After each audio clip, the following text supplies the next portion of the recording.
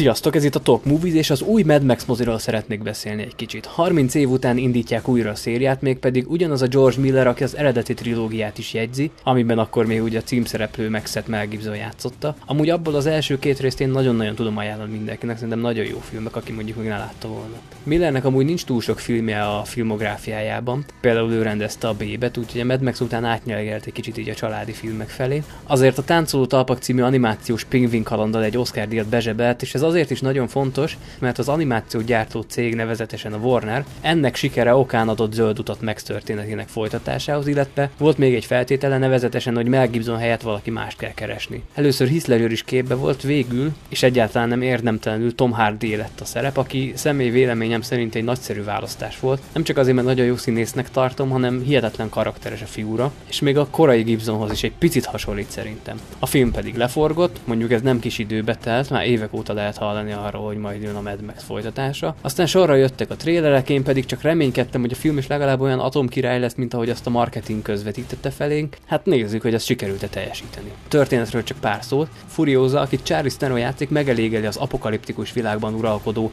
halhatatlan Joe önkényuralmát, és annak benzinszállító kamionjával megpróbál elszökni egy szebb és jobb élet reményében. A szabadságot keresi, és a túlélés lesz hamarosan a célja, ugyanis Joe és bandája a teljes pereputjával üldözőbe veszi a nőt, aki csak egy valakire számíthat, mégpedig a szűkszavú őrült Maxre. Most maga a történet nem sokkal több ennél. Az egész film egy hihetetlen nagyszabású, grandiózus autós üldözés a poros sivatagon keresztül, csipetnyi benzingőzzel átítatva. És aki most erre azt mondja, hogy jaj, jaj, ja, persze, autóüldözéses akció vége a filmen, milyen unalmas lehet-e? Az gyorsan elmondom, nagyon nagyot téved, mert bizony Miller nem egy hagyományos üldözéses CGI parádét tett le az asztalra, sokkal több ennél a film. A rendező egy nyilatkozatában el is mondta, hogy ő egy ilyen vizuális zenét akar létrehozni, és ez nagyon érződik a filmen. Minden pontosan ki van számolva, semmi sem öncélú, tökéletes ritmusa van az egyes akciójeleneteknek, szinte mint egy megkomponált zene. És talán ez a legjobb hasonlat a filmre, egy ilyen szépen szóló, precízen kidolgozott vizuális ária az egész. Ráadásul a filmben látszik, hogy a ma nagyon divatos CGI helyett tényleg a legtöbb jelenetet a valóságban rögzítették. A robbanások, az autók, a por, mind-mind igazi, nem utólag oda tett valami. Ez szerintem egy jó irány, élvezetesebb és izgalmasabb így a film. Sokkal feszültebb az egészet nézni, mint valami digitális pacát lesni a helyet. Alig van a filmben párbeszéd, az akciók közepette nincsenek odavetett csuta félmondatok, csak pillantások, arcok, izgalom, mégpedig nem is kevés. Jó, az egy Mad Max filmben alap, hogy eszement és csúcskirály verdák legyenek. Az itt is megvan, baromi jól össze vannak tákolva ezek a kicsit rongyszerű, de nagyon jó kinéző autók. Mindezek mellé kapunk rengeteg elborult karaktert, jelmezt, kelléket, rengeteg felejthetetlen figurát fel tud mutatni a film, és rengeteg felejthetetlen jelenet van benne.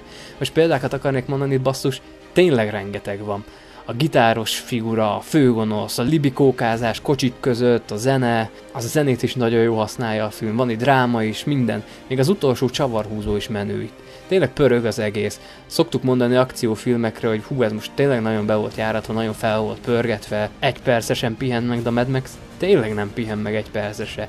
Egy-két csend van a filmben, itt-ott dramaturgiailag jól elhelyezve természetesen, aztán ilyen 40 perces akcióetapokat kapunk. Sodor az egész, az első pillanattól fogva tényleg beszippant, feszült és izgalmas. Olyan sebességgel megy ráadásul a film, mint maguk a kocsik, és hiába ez a gyilkos tempó, hiába pörög minden, és hiába egy hatalmas adrenalin löket az egész, van, hogy az akció egyszerre vagy négy különböző helyen zajlik, össze-visszavágva ide-oda, de annyira ki van dolgozva, annyira precízen össze van rakva, annyira szépen és jól meg van koreografálva az egész, hogy nem zavarodunk bele, végig tudjuk, mint nézők, hogy hol vagyunk, éppen kivel, mi történik. Szó se róla, nagyon jól összepakolták a filmet. Egy picit azért a karakterekről és a színészekről is beszélnék. A főgonosz joe játszó figurából nem sokat lehet látni, főként csak a szemét, meg a jelmezét, de ez így együtt is elég volt ahhoz, hogy egy emblematikus és megjegyezhető főellenséget kapjunk. Megszerepében Hardy persze természetesen jó, egyetlen baj van vele, ami a, talán a film legnagyobb hibája is. Mondjuk ez nem Tom Hardy múlott, egyszerűen Max karaktere egy picit a háttérben van helyezve. Most mondok egy példát, van egy jelenet, mikor nagy gyilkosságra készül, el is indul, viszont nem velem megyünk, hanem csak a távolból kiszűrődő sikolyokat halljuk, majd Max egyszerűen visszasétál. És pedig Charlie Theronhoz sétál vissza, vagyis az általa játszott fúriához, ugyanis ő a történet igazi főszereplője. Róla sem tudunk olyan sokat meg legalábbis a múltjáról, viszont érezzük, hogy van valami ott a háttérbe, ugye látjuk Csonka kezén is, hogy valami azért történt, de tulajdonképpen az egész film az ő útja, az ő megváltás keresése, meg hát ugye a szállítmányáért. Maxhez pedig egy picit, hogy úgy mondjam, asszisztál inkább.